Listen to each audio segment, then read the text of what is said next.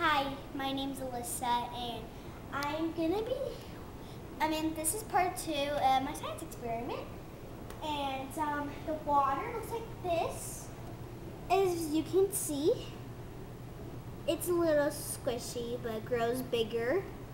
And if you if you want to know what they look like in real, this is what they all feel like. Okay?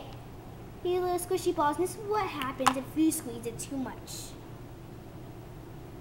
That's what's gonna happen. So you cannot squeeze them too much, or else that will happen to your orb, and you won't have any orbs. okay? And this is salt water over here. They grow too much. And over here is vinegar and baking soda. And grow. And over here is vinegar. And uh, this is boiling water, hot water. And that's the winner for today. That is the one that grew big orbs.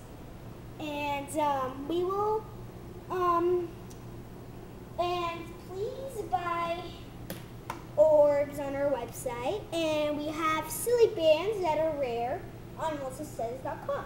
We sell little squishies too.